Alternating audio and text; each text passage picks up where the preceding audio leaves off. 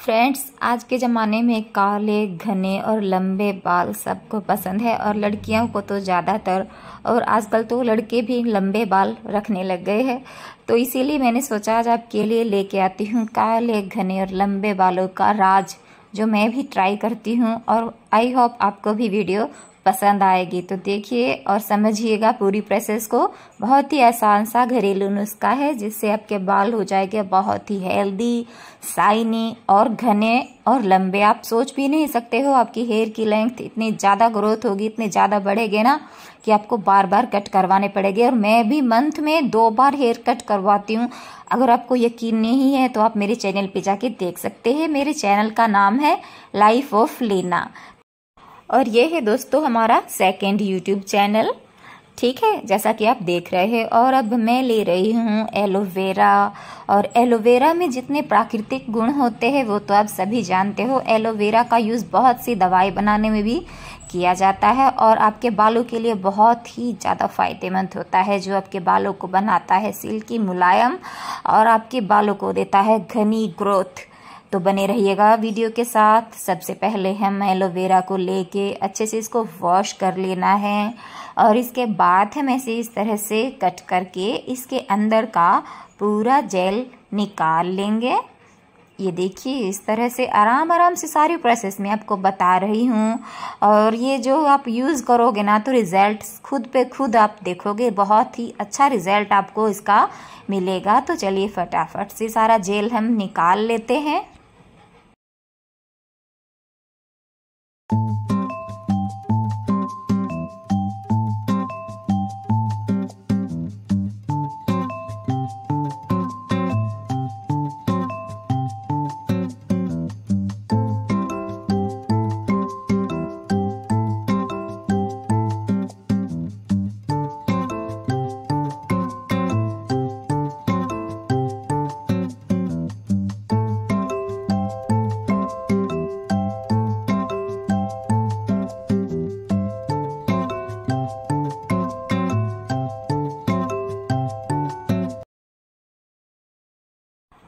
अब हमने जेल निकाल लिया है तो अब हम आगे के प्रोसेस पे चलते हैं। ये देखिए, मैंने लिए है एक कटोरी गुड़हल के फूल और एक कटोरी सरसों का तेल और आधा कटोरी हमारे पास एलोवेरा जेल है। अब हमें आगे क्या करना है, देखते जाइएगा ध्यान से।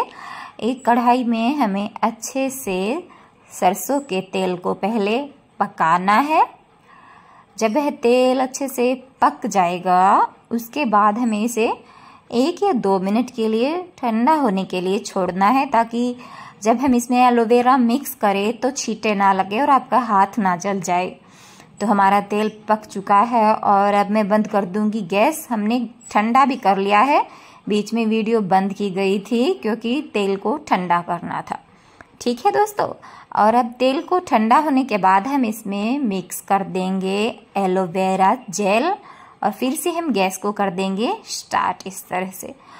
और एलोवेरा जेल मिक्स करने के बाद हमें इसमें ऐड करने हैं गुड़हल के फूल, जिसमें बहुत से प्राकृतिक गुण होते हैं, जो हमारे बालों को बहुत ही मज़बूत बना देते हैं। और अब हम इसमें डालेंगे गुड़हल के फूल, और इसको अच्छे से, बहुत ही अच्छे से मिक्स करना है। जब तक कि हमारा ये तेल है, थोड़ा सा गाढ़ापन ना आ जाए तेल में चलाते रहिएगा, छोड़ के मत जाइएगा बीच में तेल को बिल्कुल भी। और अब हम इसमें मिक्स करेंगे फूल। इस तरह से देखिएगा।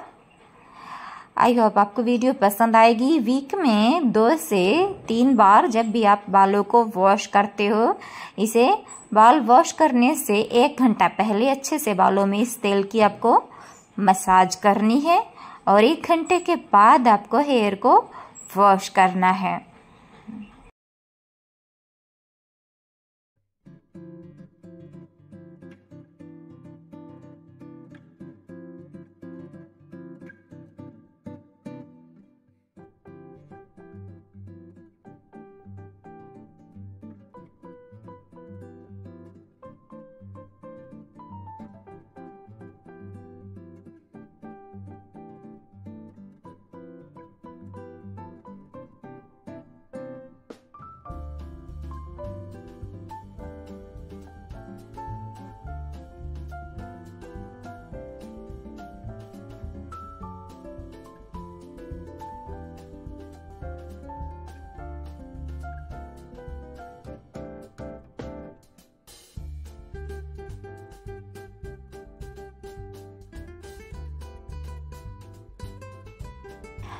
हमारा एलोवेरा आधा फ्राई हो चुका है और अब हम इसमें डाल रहे हैं फूल और इसको भी अच्छे से, बहुत ही अच्छे से हमें पकाना है ताकि जो इसके पोषक तत्व है, वह तेल में ऐड हो जाए, मिक्स हो जाए अच्छे से, कम से कम 10 से 15 मिनट तक इसको पकाइएगा और उसके बाद, पकने के बाद हमें इसे अच्छे से ठंडा कर लेना है।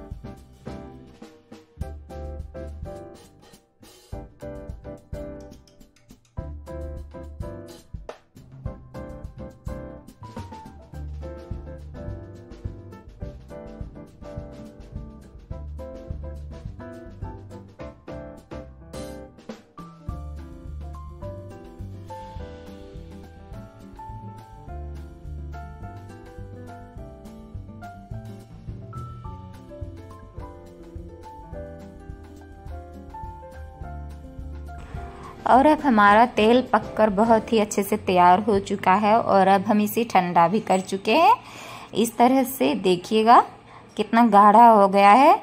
और आप वीक में जब भी हेयर को वॉश करो, उससे पहले, एक घंटा पहले आपको इसे बालों में अच्छे से लगाना है मसाज देनी है बालों को।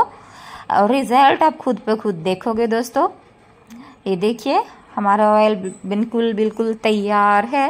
और अब हम इसे अच्छे से निचोड़ लेंगे ताकि तेल रह ना जाए कढ़ाई में। और ये देखिए कैसा पेस्ट बना है हमारा। आई होप आपको वीडियो पसंद आई होगी और रियली आपको ट्रस्ट नहीं होगा, मैं भी यह लगाती हूँ। कंटिन्यू मेरी हेयर ग्रोथ बहुत अच्छी है। और आप इसे किसी अच्छे से बॉटल में या जार में रख सकते हो। कितने भी टाइम तक रख सकते हो। ख़राब नहीं होगा ये फ्रिज में रखिए। ये फ्रिज से बाहर रखिए। तो ठीक है दोस्तों, इसी के साथ हमारा आज का ये वीडियो समाप्त होता है। आई होप आपको वीडियो पसंद आई होगी। अगर पसंद आई हो तो प्लीज़ हमारे चैनल को सब्सक्राइब कर दीजिएगा और वीडियो को लाइक करना बिल्कुल मत भूलिएगा। Thank you